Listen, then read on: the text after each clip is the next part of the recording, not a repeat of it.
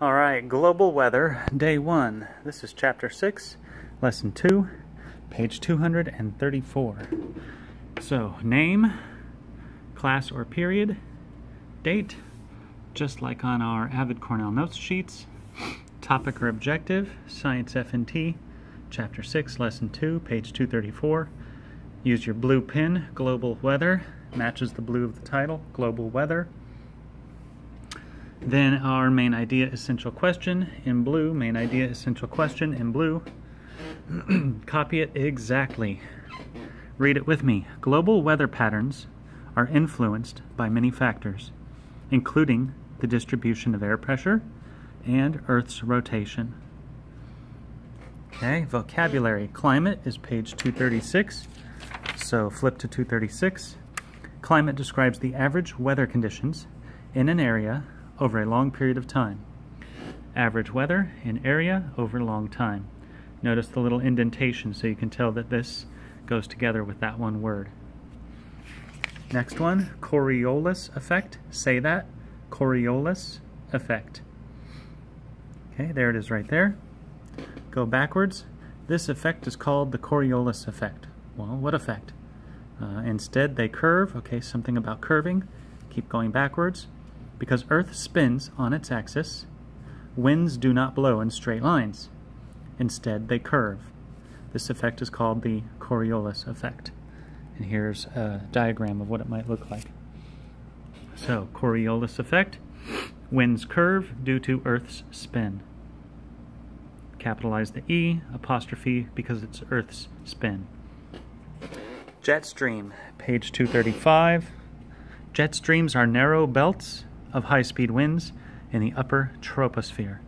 We haven't actually learned about the troposphere in this book. Basically, it's just a very high altitude part of the atmosphere. Way up there, almost up to outer space. And here's a diagram of what jet streams might look like on any given day. So, jet stream, narrow belt of high-speed wind in upper atmosphere. I changed it to atmosphere because we haven't learned about the troposphere yet. Ocean current, page 236. An ocean current is a constant moving stream of ocean water. Constant moving stream of water.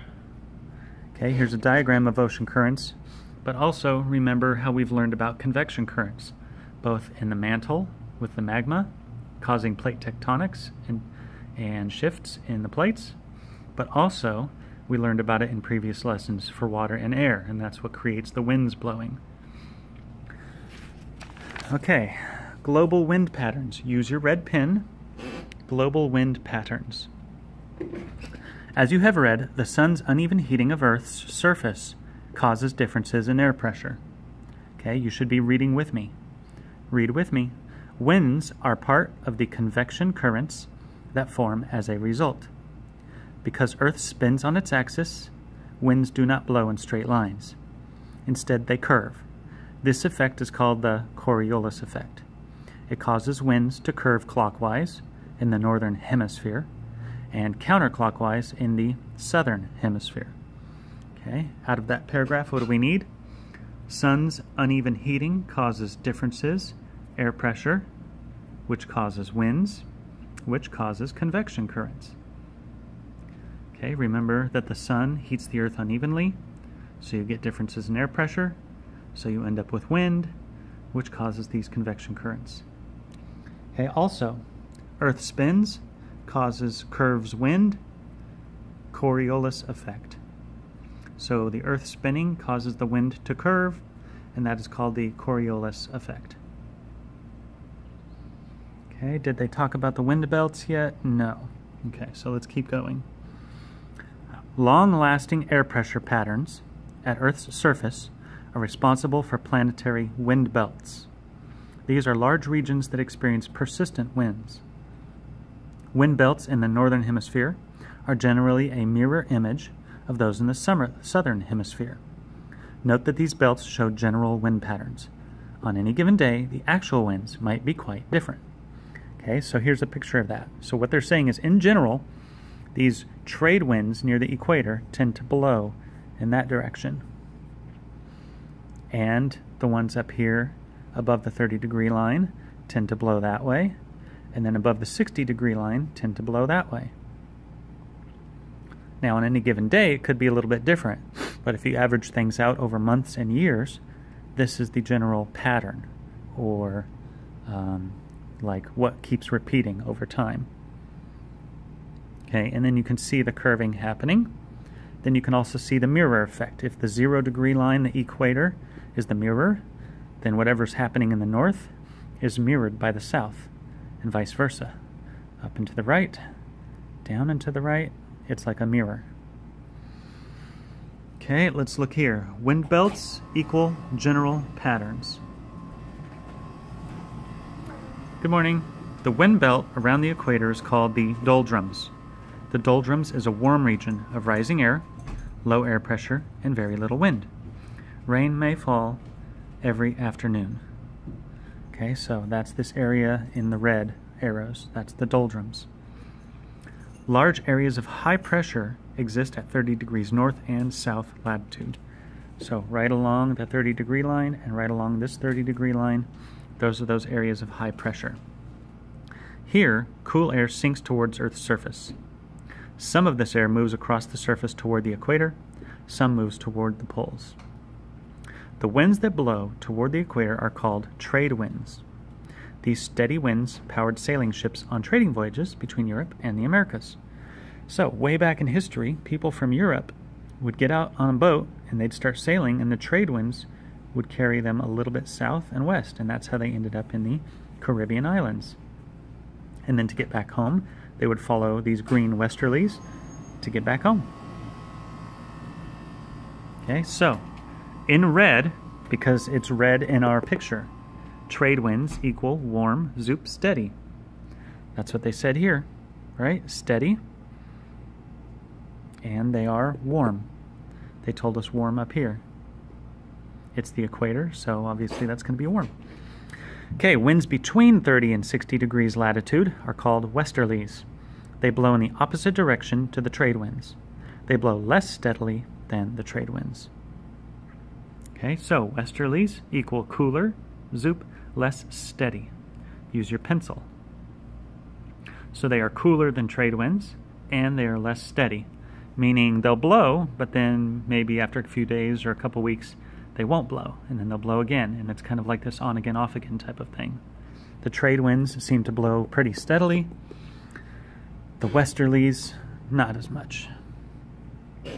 The polar easterlies blow from high pressure regions near each pole to about 60 degrees latitude north or south. So it's blowing from the pole down towards the 60 line or from this pole up towards the 60 line. These winds tend to vary quite a bit in direction and speed. Okay, polar easterlies in blue vary. We're using blue because that's the color on this picture and it's going to help our mind associate what's going on. Polar easterlies vary. That means they change quite often. Jet streams are narrow belts of high speed winds in the upper troposphere. They generally move from west to east, west to east, in both hemispheres, but can shift northward or southward, developing big loops. Okay, so they tend to blow from the west or the east, but they can move up and down and become wavier. They can move up to the north and down to the south and be in these big loops. Jet streams often affect the movement of high and low pressure systems at Earth's surface. In this way, they can have a steering effect on weather. So, depending on how these jet streams move, they change the high and low pressure areas underneath them, and that affects the weather. They can steer the weather into certain places. Jet streams are important to commercial airlines. A pilot can fly faster and save fuel when flying with the jet stream. So if you're going from, say, Los Angeles to Florida, you get your plane way up high in the sky, you catch this jet stream, and it just floats you along. And you don't have to spend as much fuel flying your plane. Okay, so jet stream equals high, zoop, west to east, zoop, steer weather. All right, now for this picture.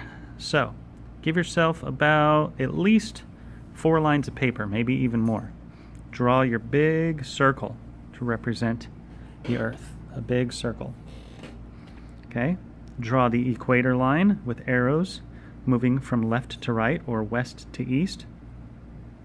Okay, and label that Earth's spin. So we know the Earth is spinning in that direction. Just like it says here, Earth's rotation is going from left to right.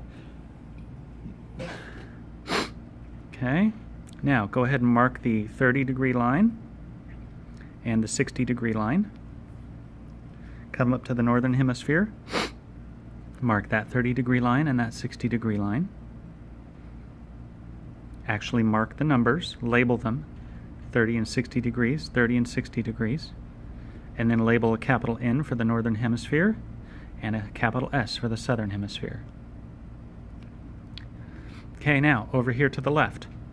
Clockwise, start with the dot at the top where number 12 would be, go to the right and draw a little arrow. That is clockwise. The same way the hands on a clock spin. Come down here, counter dash clockwise. C O U N T E R clockwise. Start at the 12, go to the left. That's the opposite way a clock spins. That's why it's called counterclockwise. Okay, so now you should have your globe, your equator that says Earth spin, your 30 and 60, your 30 and 60, your N, your S, your clockwise, and your counterclockwise. Okay, now get your red pen because that's going to be the trade winds. Draw some little arrows. You start at the 30 and curve down and to the left. Start at the 30, curve down to the left. Start at 30, curve down and to the left. For the southern hemisphere, start at the 30, up and to the left. Up and to the left, up and to the left. Your arrows should match those red arrows. Once you're done with that, label them trade winds. Just like it says here, trade winds. Okay, switch to the pencil. We don't have green, so we're going to use our pencil for the westerlies. Starting at the 30 and going up to the 60, it's up and to the right, up and to the right, up and to the right. Same thing down here, starting at the 30, going to the 60, down and to the right, down and to the right, down and to the right. So it should match these green ones and these green ones in between the 30 and the 60. Those are the westerlies. Label them westerlies. Okay, now get your blue pen and you're going to do the polar easterlies. Polar easterlies. You're starting at the pole and coming down to the 60 line. Down to the left, down to the left, down to the left. Same thing here. Start at the pole, up to the left, up to the left, up to the left. Label them polar easterlies. So now you notice that this clockwise matches these. That trade wind is kind of going clockwise. The westerly is going in a clockwise. The polar easterly is going in a clockwise. They're all kind of spinning all the same directions. Counterclockwise. Down here in the south, it's going counterclockwise that way, that way, and that way. So they all have that same effect. So one more review. The globe, the Earth's spin in the center at the equator, the 30 and 60 lines labeled, the 30 and 60 lines labeled in the south, north is labeled, south is labeled, clockwise is drawn correctly, counterclockwise is drawn, red pen trade winds, just like the picture from the book. Pencil westerlies between the 30 and 60, between the 30 and 60, labeled westerlies. And now blue pen, polar easterlies, pole to 60 and pull to 60. Okay, keep going. We have even more. Ocean surface currents. Ocean surface currents. Oceans cover 70% of Earth's surface. They affect the lands they border in many ways. Most coastal regions experience smaller daily and seasonal changes in temperature than do inland regions. Okay, so the coast has smaller changes, meaning it's more steady. One reason is because the temperature of water changes more slowly than that of land. Another reason is the effect of ocean currents. Remember we talked about how it takes the water four times as much energy to cool up or, or to cool down or to heat up? Well, that helps keep the temperature steady but now they're also telling us that the ocean currents have an effect too. So, coast has smaller daily and seasonal changes.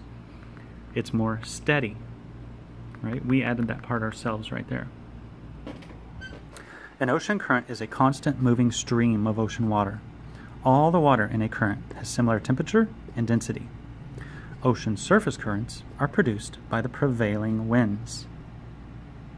Like winds, currents curve to the right or left depending on which hemisphere they are in. So look at the picture. There's that counterclockwise, there's that counterclockwise in the south. In the north, it's clockwise. In the north, it's clockwise, all because of the Earth's rotation. Continents force ocean currents to change their direction. Okay, so winds cause the surface currents. They curve similarly. Okay, so the ocean surface currents curve similarly to what? The winds, because we just talked about the winds. Winds are caused by surface currents, or I'm sorry, winds cause these surface currents, and they curve similarly to the winds. That makes sense. If the wind is blowing on the water and causing it to have these currents, then the currents are going to go the same direction as the winds. Now, page 236, that's this image. Page 234, that's that image. Put those two page numbers so that in your mind you can say, ah, this is similar to that. Notice how they're blowing all towards the left at the equator? Well, the waters are all spinning towards the left at the equator, towards the left. Look at all the arrows going to the west. Okay, warm ocean currents carry warm water away from the equator. Cold ocean currents from the poles bring cooler water with them. Okay, good picture of that's going to be this right here. The warm water rises at the equator, flows that way, its rising kind of sucks this cool water along this way. So the water flows from the equator up to the pole and then back down.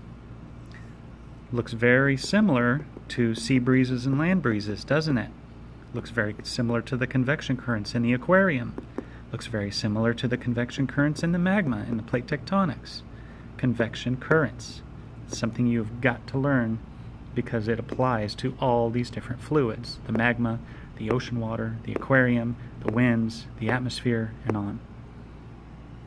Okay, climate describes the average weather conditions in an area over a long period of time.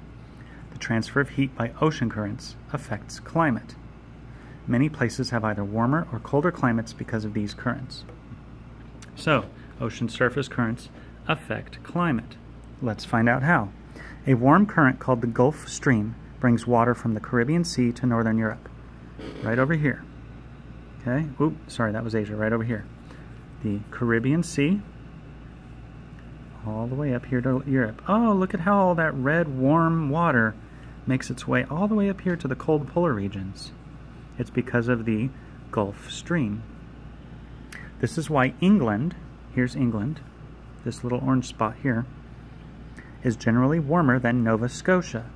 There's Nova Scotia there, close to Maine, almost it's part of Canada, almost part of Maine in the United States. Even though both are almost equally far north of the equator. Okay, so if you look at their latitude, it's at a pretty similar level. Nova Scotia is very cold because so much of the cold ocean currents comes down from the pole. England tends to be warmer because so much of the Gulf Stream makes it up there and keeps things warm. So example given, England versus Nova Scotia. Why is England warm and Nova Scotia's cold? Because of the Gulf Stream. And just looking at the pictures, you can see, okay, here's Nova Scotia. It's cold, people are wearing jackets, it's rocky. Over here in England, it's like a beach. People are out there having fun in the warmth. All right, that was a long one, but that's because we're trying to squeeze this all in and do everything in four days instead of five. So we're learning how to do this faster. Good job persevering with the growth mindset. Roar, Wildcats!